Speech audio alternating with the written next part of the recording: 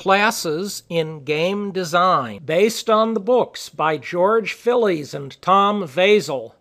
Design elements of contemporary strategy games and contemporary perspectives in game design, both from Third Millennium Publications, http 3mpub.com slash Phillies. And today, this lecture is Lecture 22, Approaches to Good Games, Simulation of Combat.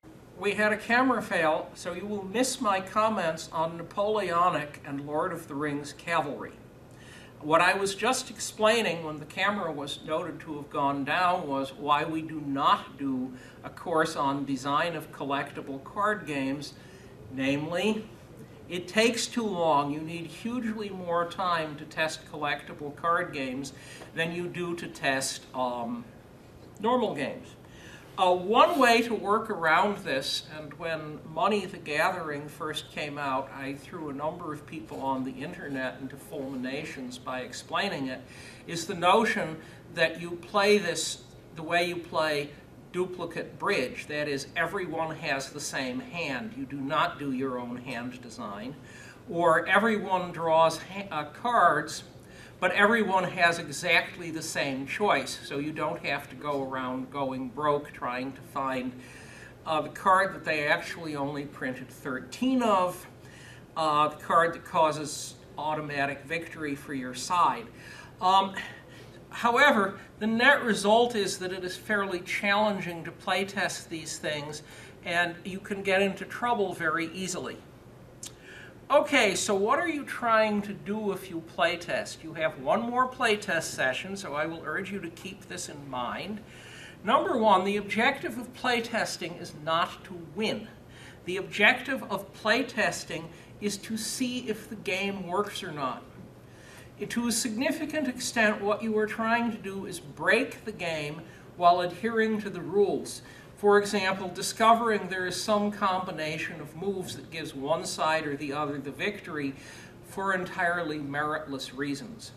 Or you make a move that technically works, um, but was not what the designers have thought of. There is a wonderful Steve Jackson cartoon. It is a space liner, except for the interesting parts blown out in the middle. And what is obviously the pilot is saying to, what do you mean you stopped the spaceship hijackers by throwing an antimatter hand grenade at them? And this is the sort of thing that no sensible person would, of course, do, you would hope, in the real world. But if the players do it, it can happen.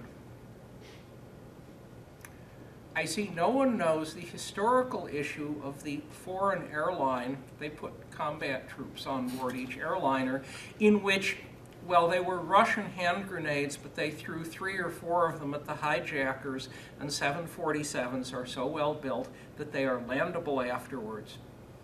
At least if you have an airline that adheres to American training standards.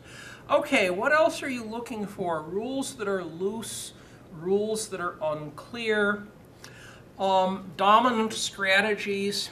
Uh, if you look at my discussion, the article by me, He Who Dies with the Most Games Wins, you will find my comment on the one computer game I do play, though very rarely, Space Empires, uh, which has the unfortunate limitation that there's something of a dominant strategy. One of the weapon systems really is a lot better than the others under most conditions. Oh yes, other suggestions. Variety of playtesters. If you always playtest with the same people, you will see the same categories of strategy being used even though it's a new game of yours, it's another new game of yours, it's a third new game of yours. Uh, the equivalent in um, is if you are writing and you have the one critic who will always discuss number and amount, the other critic who will always check spelling and nothing else.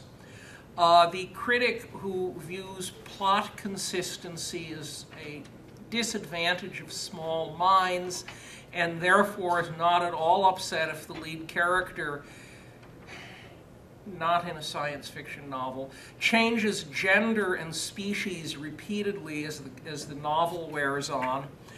Um, well, you want variety. You also want people who are doing, we're going to put this into effect. The final playtest session is out of the box. You get to play it. Hopefully you will be able to play it as homework before you show up here to play it so you can discover interesting things like, aren't there supposed to be unit counters in here? Um, but um, in any event, it'll be a different group of people playtesting each time. That's very important because it means you're getting a fresh point of view each time. Um,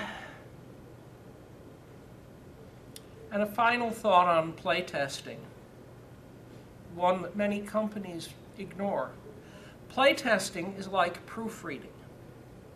You are actually done playtesting if there are no mistakes caught in a, in a proofreading pass.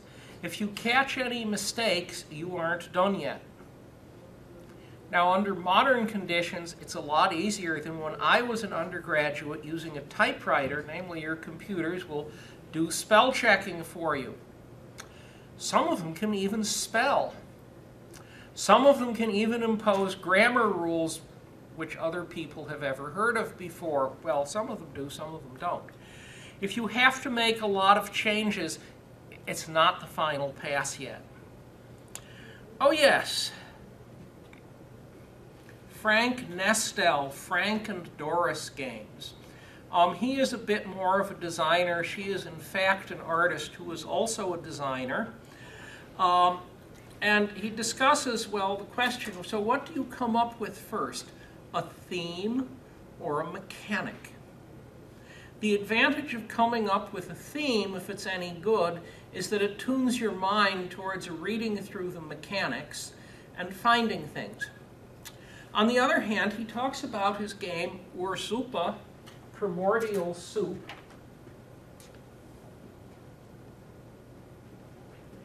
And it's about monocellular organisms in the primitive world, roughly speaking. And these things sit here and they absorb sunlight or eat other things or whatever. And they dump into their environment other organic molecules that other things eat. Modern example would be a farm field where in the American South you plant peanuts the peanuts are kind enough to pull nitrogen out of the air and you refresh your farm field simply by growing peanuts. It works. It works very well. Well, in any event, this game about microorganisms is actually risk in disguise. Now, the key issue, the redesign, which makes it a very different game, is that in risk, there are no logistics issues. If you want to pile up 2,000 armies, this would be a fairly large number by most standards. If you want to pile up 2,000 armies in Kamchatka, which is the far easternmost part of Russia, an area full of volcanoes, ice, snowstorm, a number of predators like snow leopards, A, they think you're food, B, they can jump about 20 feet vertically, so climbing a tree just helps them find you. Um, well, if you don't mind B, that issue, it's fine, but in fact logistics are important, and so he has a set of rules where in essence um, one set of, all of these sets of animals are doing things, but they're also dropping food for example, they're plants and they drop seeds, whatever, uh, for other species to eat, and you have to keep on the move or unfortunate things happen. It's risk in disguise, but it's a very different game because of these extra pieces. The other thing that comes in, I've warned you about exponential takeoff. The reason you have exponential takeoff in games is that there are typically no resource limitations, there are no overpopulation problems, there nothing, no, there's nothing that gets in the way of an exponential. The counterexample to that, a counterexample, is the Roman Emperor Justinian. Justinian was a very sharp fellow. He had several sharp, very good generals, such as Narses, who no one has ever heard of, and Belisarius, who large numbers of people have heard of.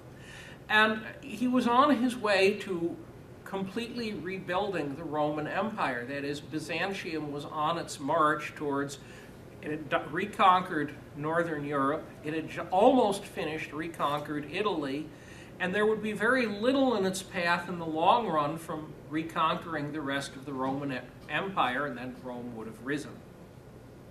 Except as he was doing this, his cities were getting bigger, and one fine day, the Black Death or one of the other unpleasant plagues, there's some question about which one because the symptoms don't match quite any current modern disease, um, got loose. And where there were 10 villages, now there was one and it was somewhat underpopulated. In some cities, eight or nine out of 10 people died. Uh, this sounds very medieval. There are a number of people who are firmly convinced that if uh, the SARS, the sudden acute respiratory syndrome thing had gotten loose, you could have seen it right around you because it was about a 60% mortality rate. It spread, spread just like the flu. Um, well, in any event, suddenly Justinian ran into a limitation on exponential growth. Um, you can, uh, there are other sorts of limitations if your economics rules are sufficiently good. For example, if you do nothing but build steel mills and concrete mills and cities, eventually you run into the embarrassing wall that you are building cities and when you're done, they're empty because there's no one to live in them. Or um, we can name a foreign, I will abstain from naming the foreign country that has actually pulled this stunt. Uh, or you are using civil engineering schemes for bribery, this is a different foreign country, and you are to the point where almost all of your rivers have been paved. Very, it's very nice that they're paved. There are no washouts, there are no embarrassing difficulties. You do see little concrete walls along the banks, but it's, it's, it's completely runaway and absurd. Okay, so what else do we get out of this fellow? Well, he gives advice about trying to get into the game industry. Now, the advice he gives on giving to the game industry is focused more on the board game industry, so there are some details which you have to tune a bit.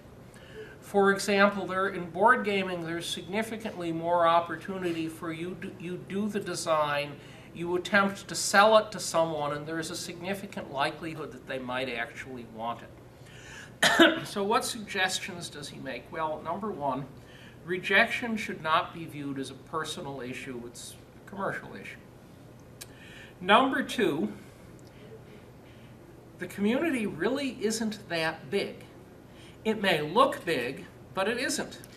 And if you get a reputation as being the north end of a southbound horse, um, other people will be happy to find reasons to do other things than to hire you or look at your designs, you know, to retain their sanity points. Um, you want to maintain a contact log.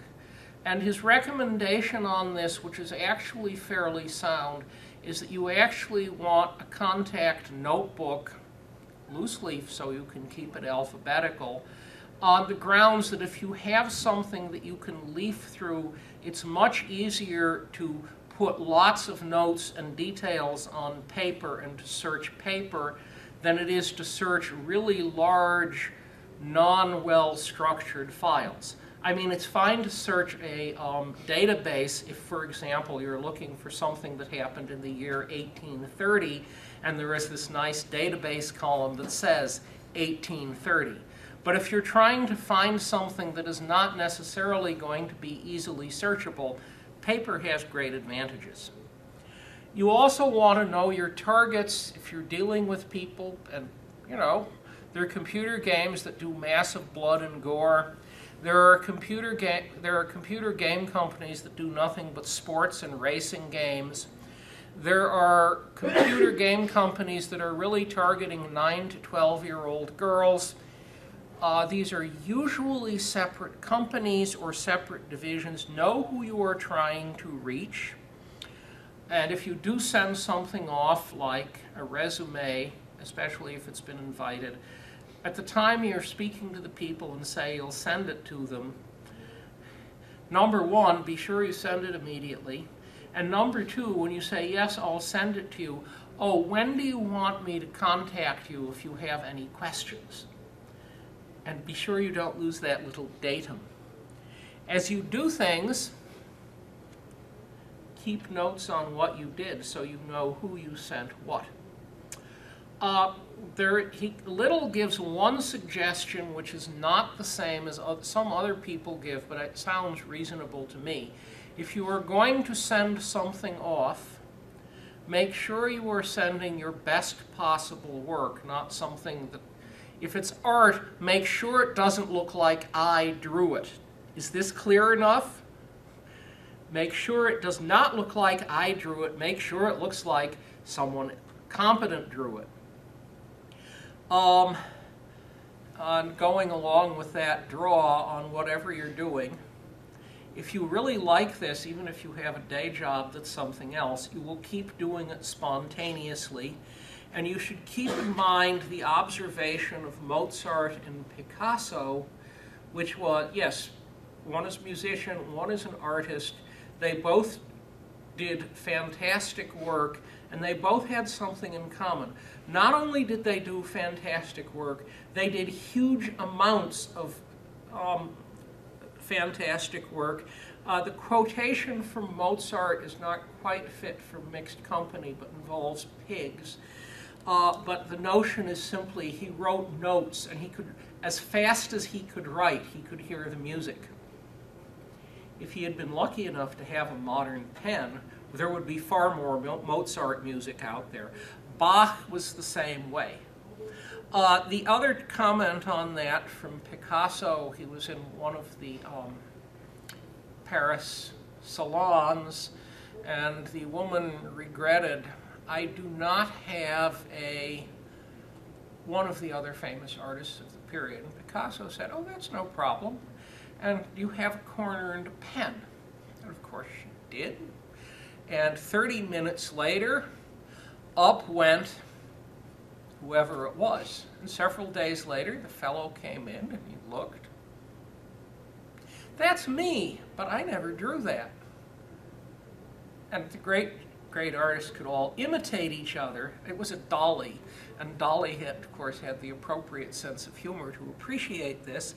Um, and they could imitate each other. There is nothing wrong with imitation and borrowing as long as it's not plagiarism. And cleverly copying ideas from other people is an important part of being creative. Okay, so I have said a fair amount about playtesting and about getting better games. And if my notes would turn over.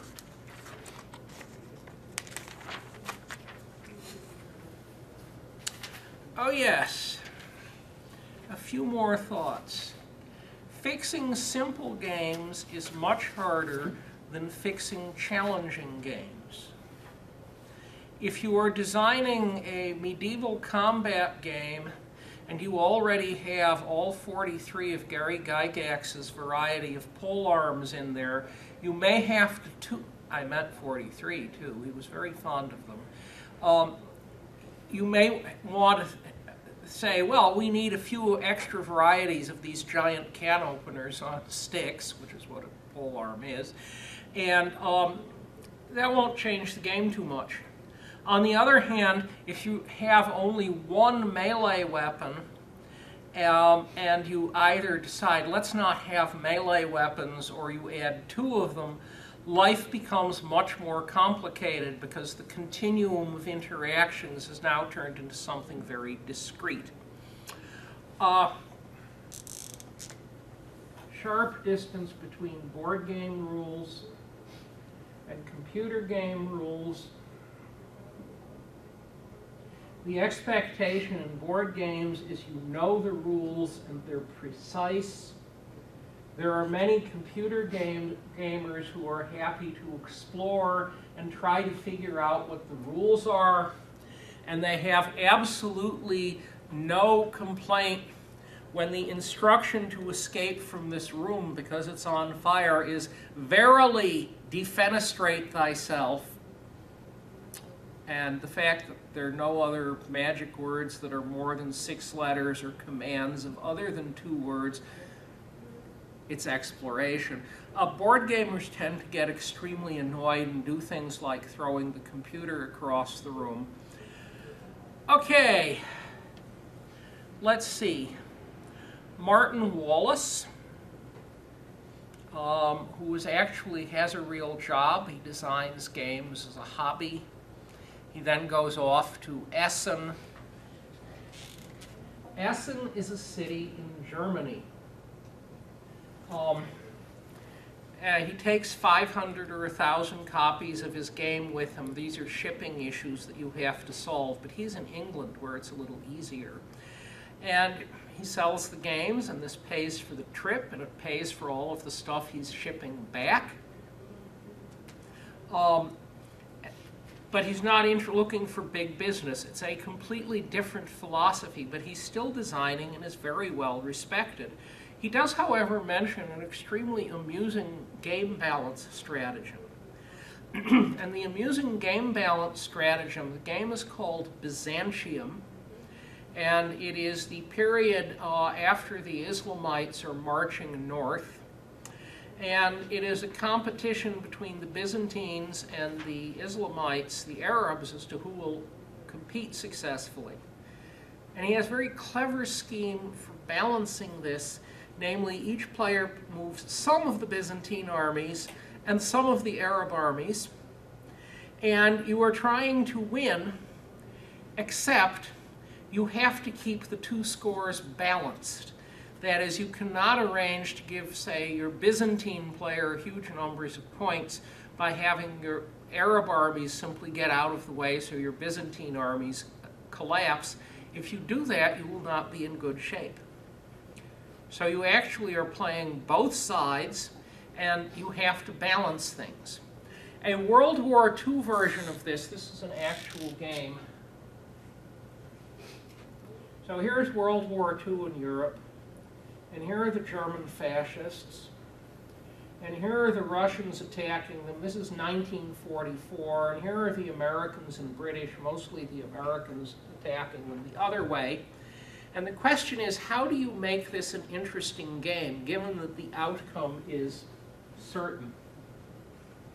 And the answer is, one player takes the Russians and the German army facing the Americans, and the other player takes the Americans and the German army facing the Russians.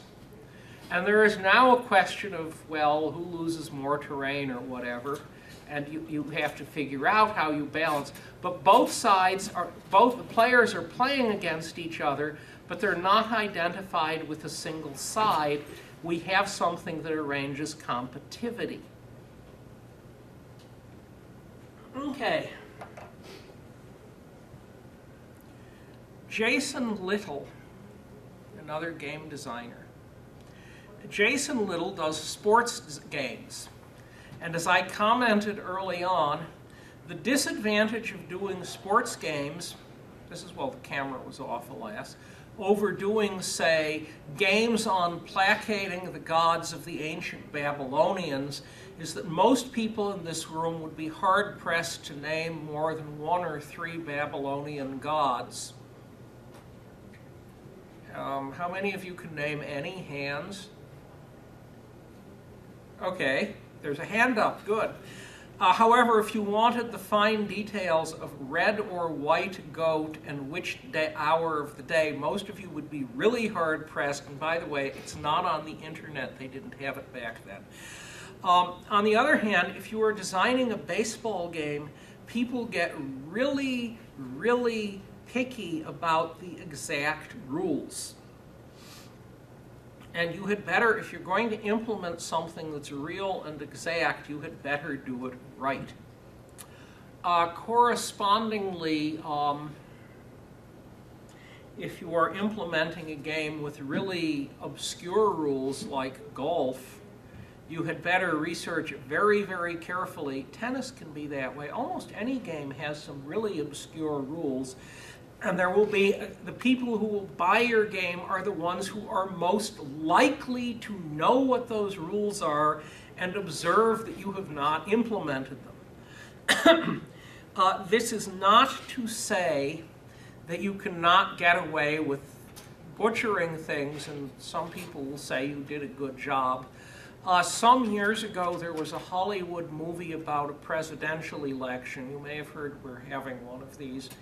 Uh, and this third party, which no one has ever heard of here, enters the race, and the candidate of the alleged third party wins the election by getting 175 electoral votes, which, by the way, is not a majority. And if this happens in the real world, he does not win. The election goes to the House of Representatives, one vote per state. Well, the Hollywood people decided they didn't expect their American audience to know anything about the Constitution, like issues that are usually taught in about seventh grade, and they produced it anyhow. This is no worse than the, um, I'll change the name slightly. the movie was originally called Tunisia West of Libya, excuse me, Tunisia East of Libya, until someone pointed out after the film was out there for a few days that Tunisia is, by the way, west of Libya, and they very rapidly retitled the movie. yeah, you can do things like this, but it doesn't give you a good name. Okay, so let us return to simulating combat. And people who know exceedingly little about combat and simulating it will say, well, we have units of side A here and they're shooting at units of side B there, and we can calculate how fast each side takes losses, and that's all we need to do. And this very seriously misses what's going on in most types of combat. And what you instead do is, to, Charles Roberts' great innovation was to say, we can assign numerical strengths to units and we will, for example, take a ratio of attacker strength, defender strength, and that gives us some indication of what's going to happen. However, in terms of a combat results table,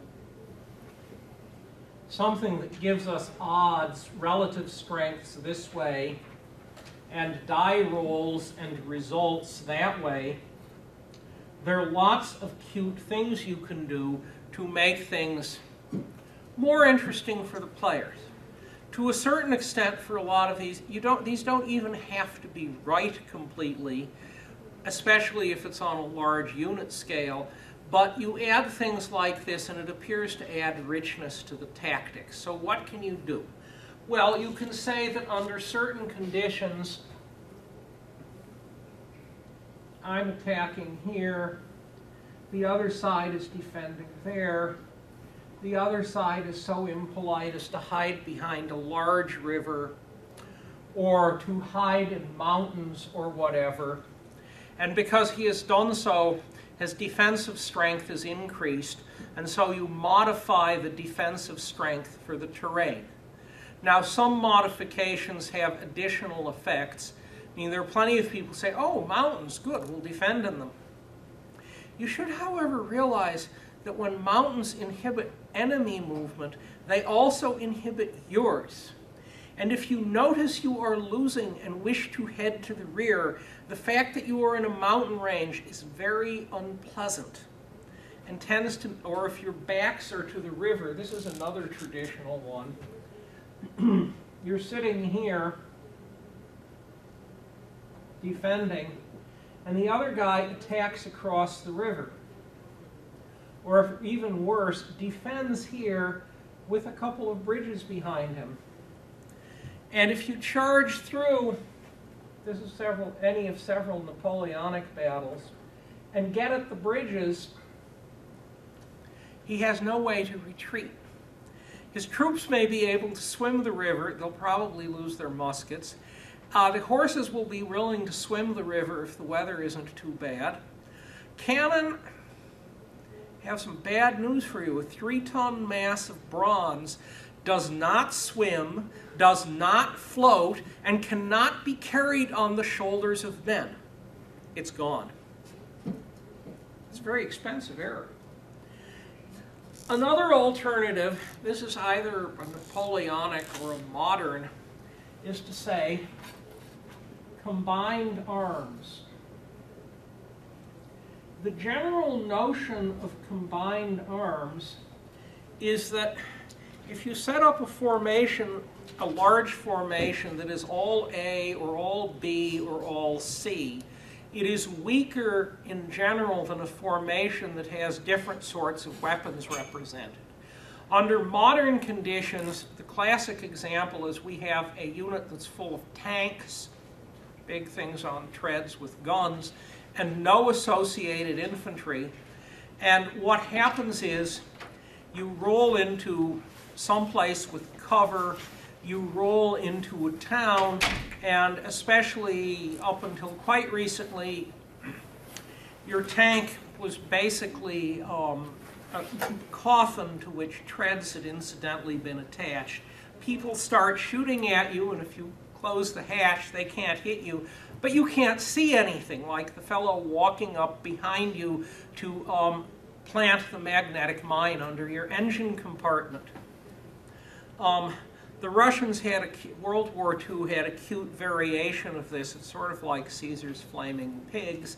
They had dogs that were trained to run under tanks. However, when they sent them to run under the German tanks, they'd attached a fair amount of high explosive and something that would trigger the high explosive to the dog. The dog would run under the tank and suddenly the tank would blow up. Well, if you have infantry along, they notice the dog coming at them, the dog with the funny things on its back, and they start shooting. This is cruel to the dog, but you know, you could have used prisoners, political prisoners too. Uh, that would be cruel also. Uh, in any event, um, combined arms, the traditional, the modern version is armored vehicles, infantry, artillery, air support. The version from 200 years ago, Napoleonic, is cavalry, cannon, infantry, and the combinations became very interesting. Um, so how does this feed into the combat results table? Well, I may have 30 combat factors in my attacking force, but it may be that if G, I have some of each type of weapon present, you have several choices. They're columns. I outnumber the enemy 3 to 1, 4 to 1, 5 to 1, and it may be that if I have combined arms, I get a column shift of one or two columns. On the other hand, another alternative, yeah, the die roll goes 1, 2, 3, 4, 5, 6, but I can also apply DRM, die roll modifiers, so I roll dice to see what happens, and then I add or subtract a number from it. And because I add or subtract the numbers, I get into results up here or results down there, and I may not like the results or I may as much or I may like them more. Um, a limitation on this, we're almost out of time, is granularity. Um, uh, there is a certain temptation from some designers to say, well, if we put a certain amount of detail in, it's good. If we put in more detail, it's better. And I am reminded of this unfortunate it was some more or less modern battle, and there were tank forces advancing, and there were helicopters, and like many modern helicopters, they were carrying at least one air-to-air -air missile to shoot at the enemy helicopter.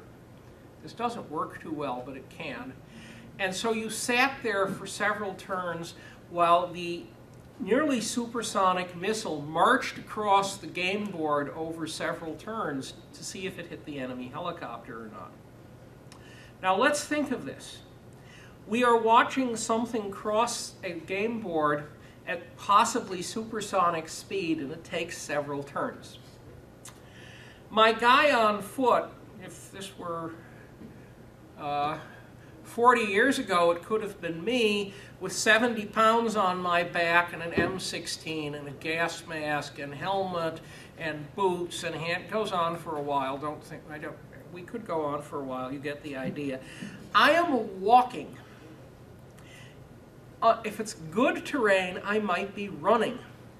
If it takes the supersonic missile several turns to get to my opponent, how many turns does it take me Hint, lots. More than you would conceivably want to play.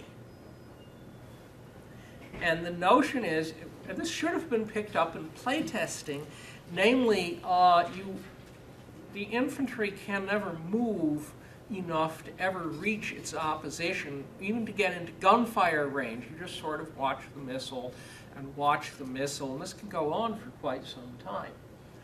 Okay, that's combat variations. My closing thought, the first quote is from logis on logistics, it's from Napoleon.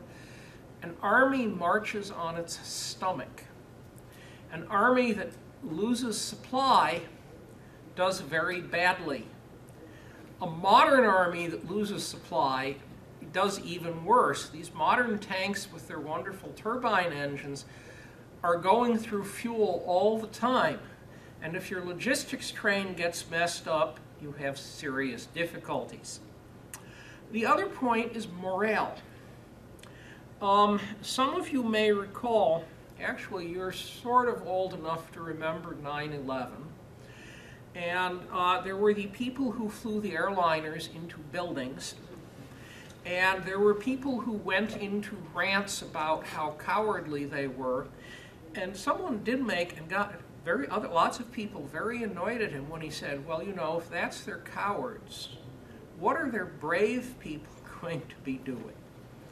And someone else dug up, this goes back to the start of World War II, it's actually not true. The American pilot who spotted the battle, Japanese battleship Haruna and flew his airplane straight down the smokestack, thus wrecking the engines This is actually not what he did. He did get a Congressional Medal of Honor for something else. And you have to realize that there's some people who are very brave, and there are other people like the first Iraq War, the Iraqi Army Battalion, this is about a thousand men. And they realize that this jeep full of CNN photographers has driven up to them unarmed. And the CNN photographers realized there are a thousand armed Iraqis all around us. And the Iraqis realize, we can surrender! And they surrender. This is bad morale as opposed to good morale. It's very important, and it's somewhat difficult to simulate. I see that we are out of time. I have gone on about game design and combat simulation a bit, and we are done.